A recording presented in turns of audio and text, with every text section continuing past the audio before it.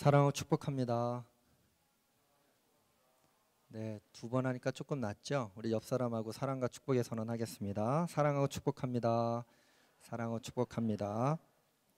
그러므로 형제들아, 그러므로 자매들아, 내가 하나님의 모든 자비하심으로 너희를 권하노니 너희 몸을 하나님이 기뻐하시는 거룩한 산 제물로 드리라. 이는 너희가 드릴 영적 예배니라. 예, 오늘 말씀의 제목은 예배를 예배되게라는 제목이고요. 지난주 제목은 교회를 교회되게라고 하는 말씀의 제목을 가지고 우리가 바로 교회다. 교회는 건물이 아니라 바로 나 자신을 하나님께서 아, 교회로 세워 주셨다. 그래서 교회는 어떤 건물이 아니라 사람이다라고 하는 이야기를 함께 나누었습니다. 여러분 세상 속에서 교회로 살아가셨습니까?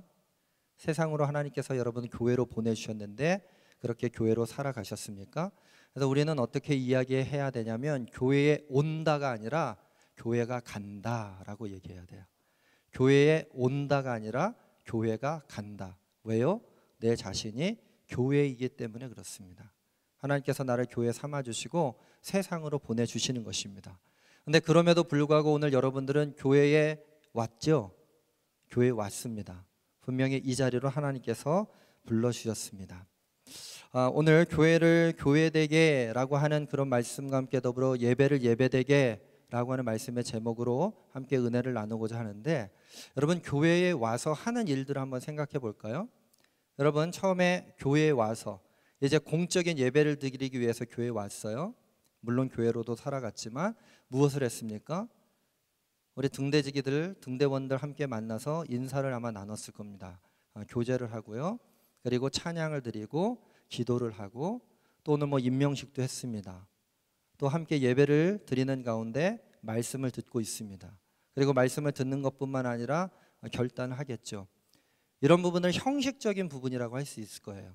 그러면 교회 와서 내 마음 가운데 어떤 감정이 드는가? 여러분 교회 오니까 기쁘세요? 안 물어본 것처럼 하고 다시 물어볼게요. 교회 오니까 기쁘세요? 네, 감사합니다. 네, 저도 젊은이들하고 함께 아, 예배를 드리니까 제가 젊어진 것 같은 착각을 누리게 돼서 기쁘기도 합니다. 한편으로는 아, 나이가 점점 먹어가는구나 하는 것 때문에 서글퍼지기도 하지만 아, 기쁘기도 합니다. 우리가 교회 와서 어떤 감정도 있지만 예배드리고 기도하고 찬양하고 어, 이런 일들을 해요. 어떻게 보면 교회에서 이루어지고 있는 뻔한 일이라고 이야기할 수 있습니다. 뻔한 일. 근데 우리가 교회를 이야기할 때 이런 뻔한 일을 이야기하고 있음에도 불구하고 이 뻔한 일을 제대로 하고 있는가? 이렇게 오늘 질문을 드리고 싶어요. 그리고 그 뻔한 질문 가운데 우리는 정말 참다운 예배를 하나님 앞에 드리고 있는가? 예배를 예배되게 뻔한 질문 가운데 우리는 뻔한 대답을 하고 있지만 정말로 우리는 예배를 예배되고 되게 하고 있는가? 우리 박성식 전도사님께서 예배에 대해서 잘 정리를 해주셨다고 제가 들었습니다. 예배는 뭘까요? 예배는 뭐죠? 예배는 반응이다 그랬어요. 예배는 반응이다. 그래서 여러분들이 교회에 왔을 때에 예배 드린다라고 하는 그 부분으로 인해서 마음속에 기쁨이 생겨나는 것입니다. 반응하는 것이죠, 감정에. 그리고 더 구체적으로 예배는 반응이다 그랬는데 어떤 반응이냐? 나를 구원해 주신 하나님을 향해서 내 기쁨을 드리는 반응입니다. 누구를 향해서? 하나님을 향해서. 나를 구원해 주시고 나를 살려 주신 나에게 영생의 기쁨을 주신 하나님께 나아가서 반응하는 것 이것이 예배입니다. 그래서 우리들 가운데는 예배 드리는 것을 통해 가지고요. 기쁨의 고백도 드리지만 때로는 눈물이 흘러날 때가 있습니다. 아, 지금까지 살아왔던 삶에 대한 회개가 넘쳐날 때도 있습니다. 여러 가지 고백을 드릴 때가 있고요. 또 찬양할 때 너무 기뻐서 손뼉을 치고 춤을 추시고 또 높이 높이 뛰어오를 때도 있습니다. 그런데 또 우리들 마음 가운데 예배하고 있음에도 불구하고 어려운 마음이 생겨서 무너지는 그 마음 때문에 하염없이 또 울다가 그럼에도 불구하고 나를 사랑해 주시는 하나님이 계시다고 하는 그 사실 때문에 부족하지만 믿음의 고백을 드리기도 합니다. 다시 한번 질문하고 싶습니다. 예배는 뭐라고요? 그렇죠. 지금 대답하는 분들은 반응을 하시는 거예요. 예배는 반응입니다. 그러면 성경에서 이야기하고 있는 예배는 어떤 예배인가? 오늘 우리가 로마서 12장 1절의 말씀을 읽었어요. 너희가 드릴 영적 예배니라 그랬는데 이 예배라고 하는 단어에 헬라어가 있는데요. προσκυνέω라고 하는 단어를 씁니다. προσκυνέω. 여러분 영어 단어에서 프로 하면은 앞으로 나가는 뜻입니까? 뒤로 간다는 뜻입니까? 앞으로 나간다는 뜻이죠. 그리고 κυνέω의 κυνέ라고 하는 뜻은요. 여러분 강아지 아시죠? 개라는 뜻을 가지고 있습니다. 이상하죠? 예배를 이야기하는 προσκυνέω라고 하는 헬라어에 개라는 뜻이 들어있다는 거예요. 이게 무슨 얘기냐면 여러분 혹시 애완견을 기르고 계신가요? 애완견을 길러 보셨습니까?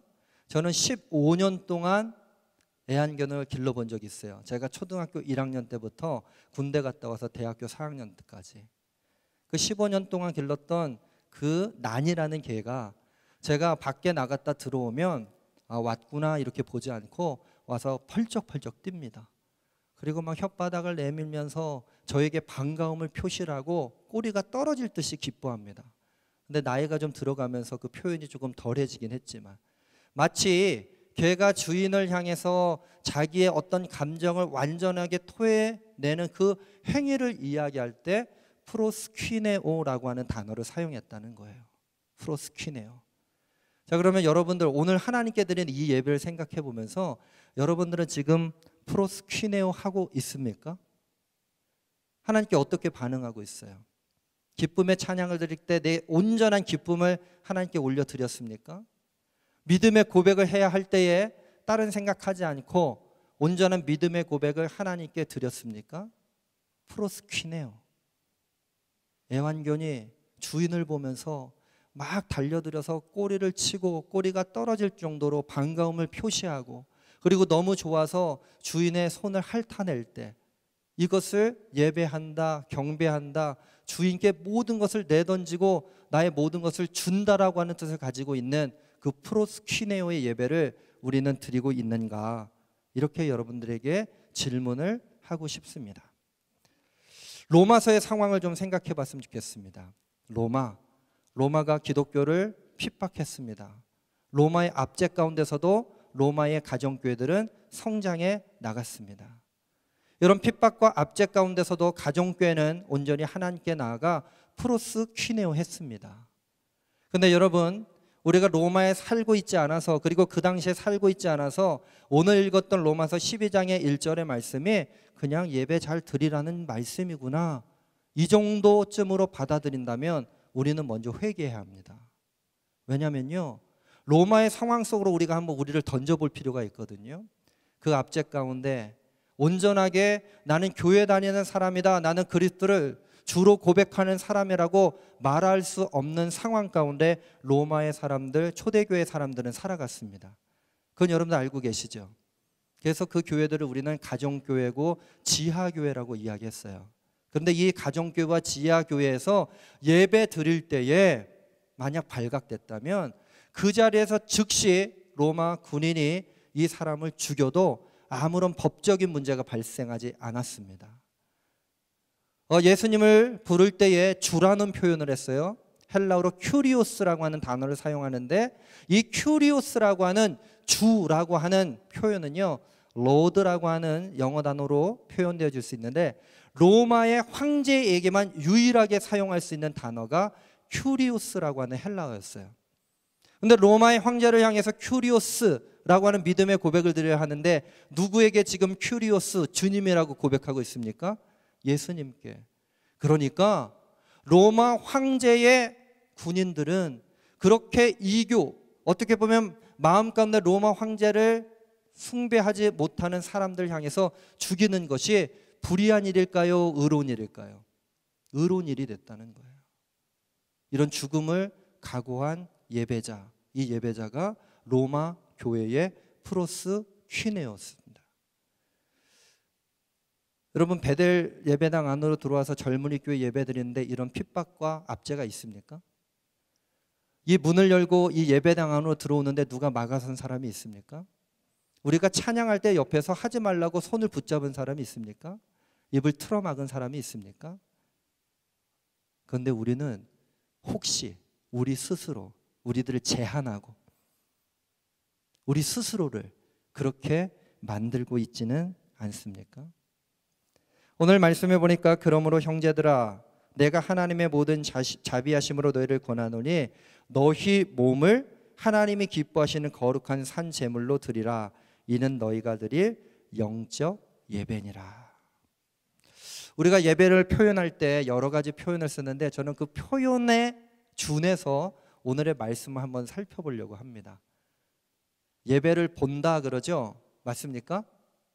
예배를 본다. 이게 맞는 말이에요? 틀린 말이에요? 예배를 본다.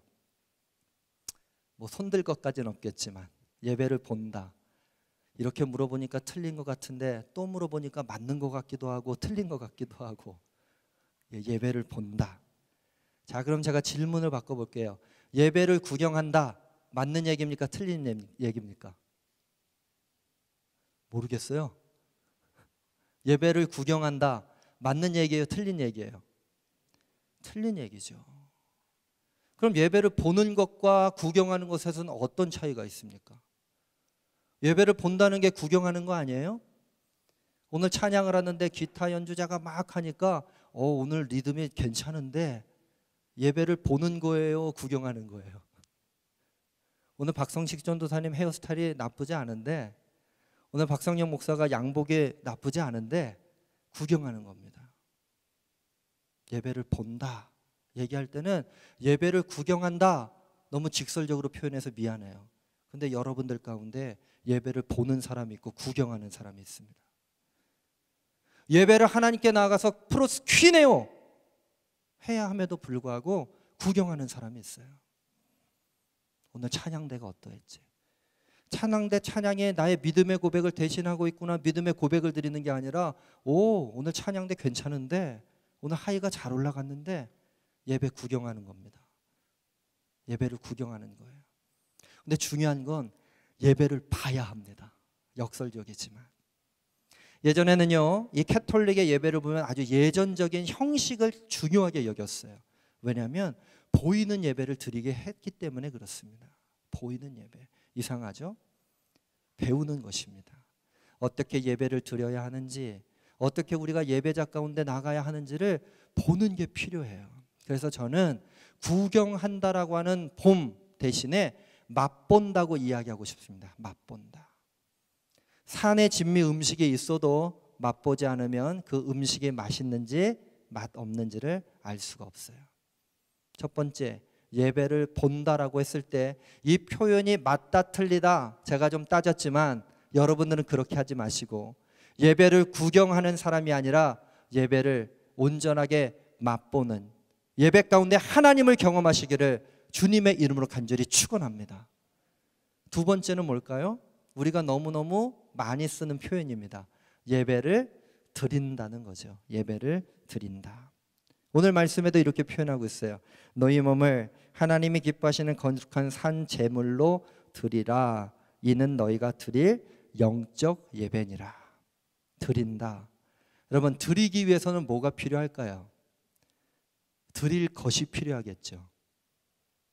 구약의 제사를 생각해 보면 흠없는 제물을 가지고 성소로 나아갔습니다.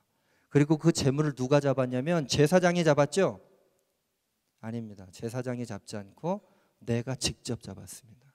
내가 직접 잡아서 모든 더러운 것과 깨끗해 부분들을 잘 정리를 하고 살과 피를 잘 정리해서 제사장에게 드리면 제사장이 그 제물을 받아서 번제단에 놓고 태워서 하나님께 향기로운 제물로 올려 드렸다고 그랬습니다.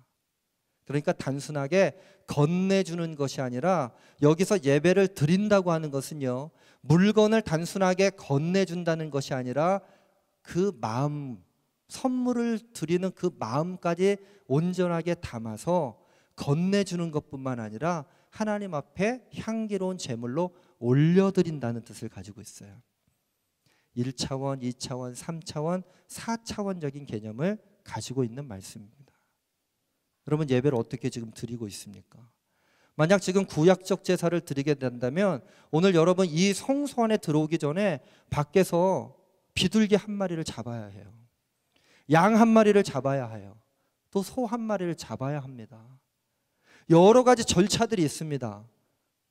그런데 비둘기 잡고 양 잡고 할 때 피해 제물로 잡아야 되거든요. 여러분들이 직접 이마를 때리든지 동맥을 끊든지 그리고 심장을 찌르든지 그럼 어떤 일들이 벌어질까요? 피투성이가 되겠죠. 옆 사람 지금 그 얼굴로 있을 수가 없어요. 피투성이에요. 피투성이. 저 역시도 피투성이가 된 채로 이 자리에 세워질 수밖에 없다는 거예요.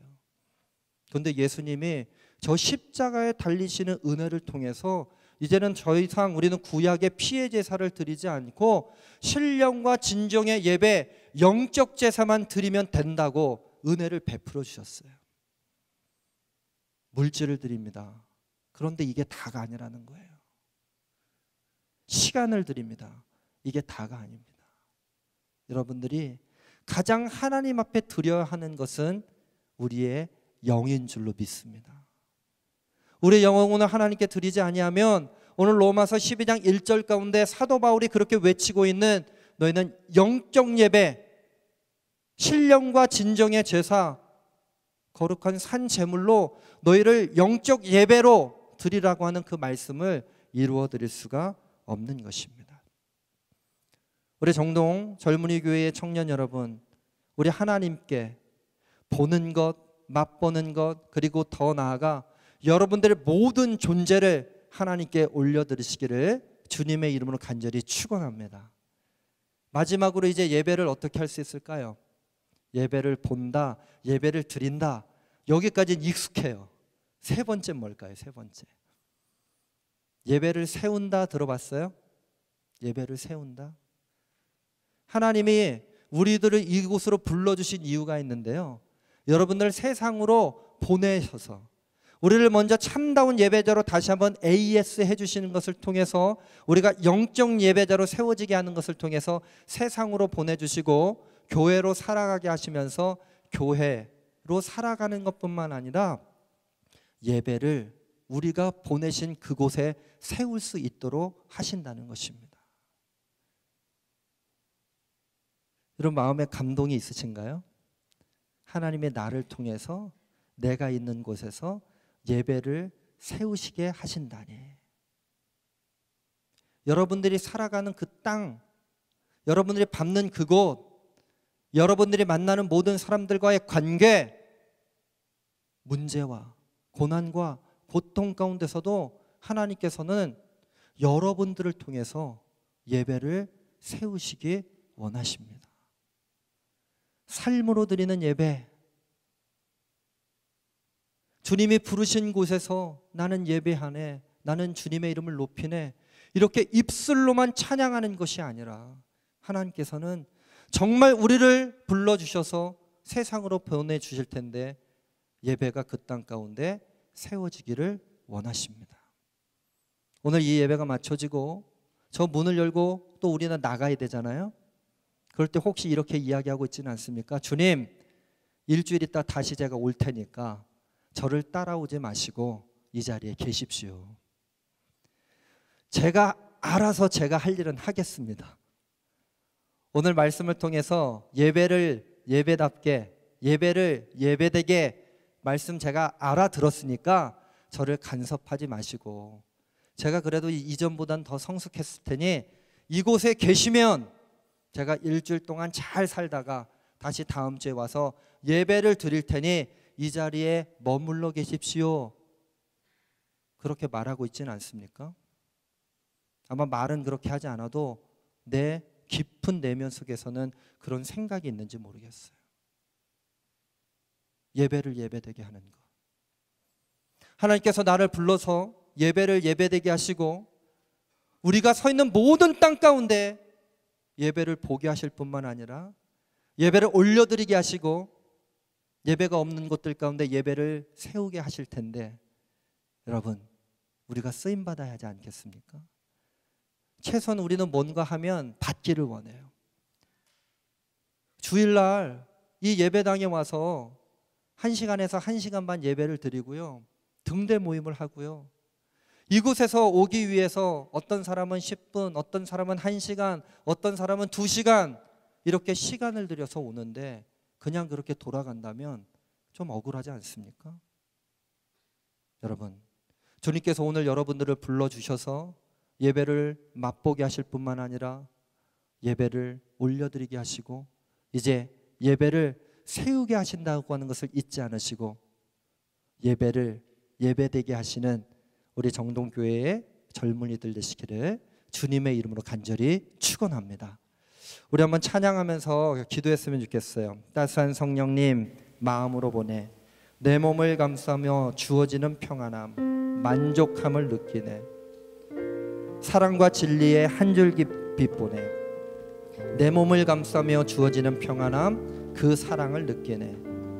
부르신 곳에서 나는 예배하네. 어떤 상황에도 나는 예배하네. 부르신 곳에서 나는 예배하네. 어떤 상황에도 나는 예배하네 내가 걸어갈 때 길이 되고 살아갈 때 삶이 되는 그곳에서 나는 예배하네. 내가 걸어갈 때 길이 되고 살아갈 때 삶이 되는 그곳에서 예배하네. 여러분 그런 예배자로 우리들 세워달라고 우리 찬양하시고요. 함께 합심해서 예배를 예배되게 되는 주님의 복된 자녀들이 될 수 있도록 우리 합심해서 기도하도록 하겠습니다.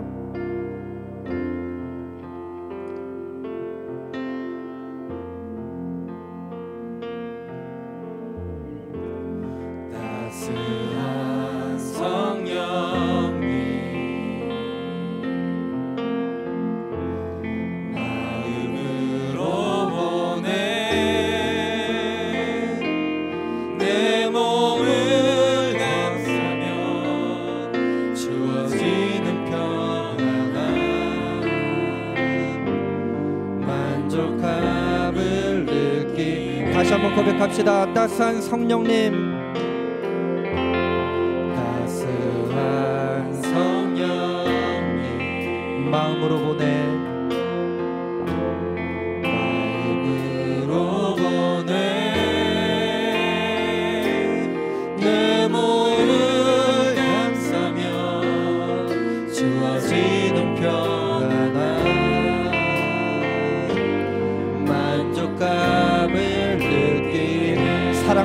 진리의 한 줄기 빛 보내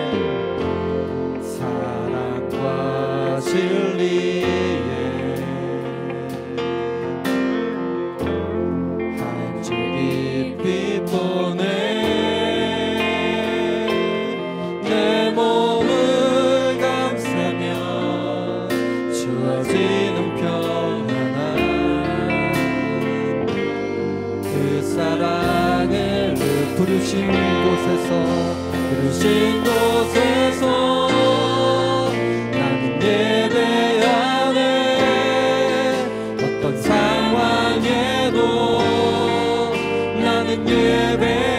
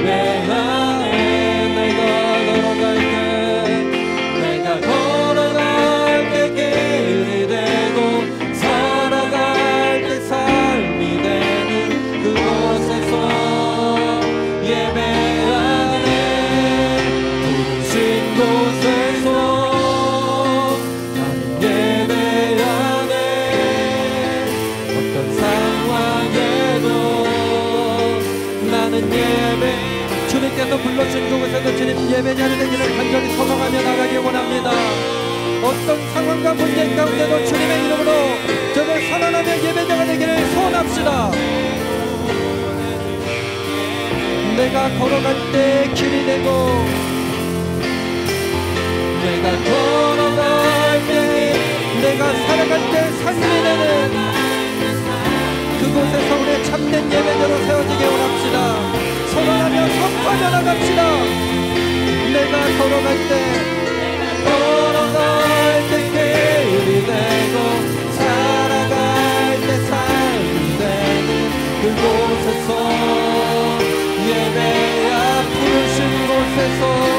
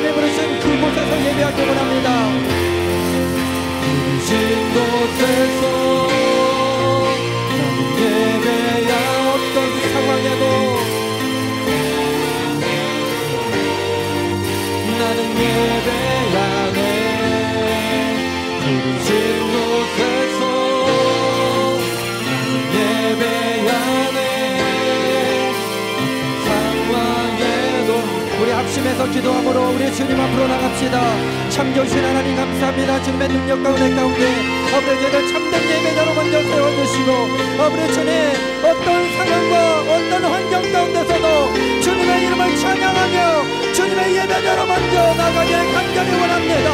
아버지 주님을 맛보아리며 여주시고 주님의 건능 가운데 나가길 원하오니 아버지 거룩한 상계물로 주님께 누리게 하여 주시고 아버지 그 시원전가신 주님의 능력에 안에 임하기를 간절히 원합니다.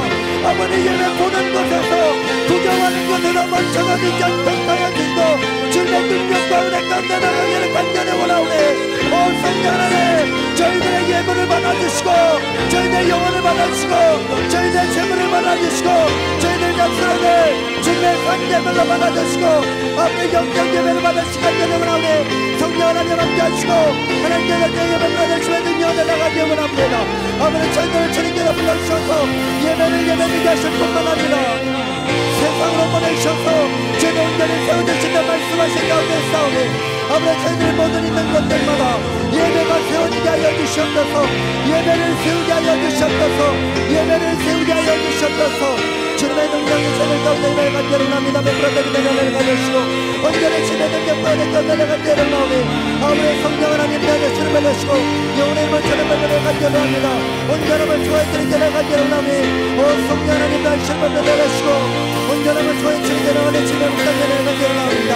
아버지 저를 이제 세상으로 원하실 때에 우리 주님의 능력과 은혜 가운데 나가게 하시고 아버지 그들의 성령 가운데 임할 수 있도록 놀란 주님의 권능의 저희들 가운데 주님의 말씀 가운데 아버지 주여 주님의 예배자로 세우시고 하나님의 능력 가운데 를 간절히 나무도 하나님 주여 영광 가운데 주님을 간절하시고 아버지 주님의 능력이 저희들 가운데 임할 간절히 납니다. 하나님 함께 하시길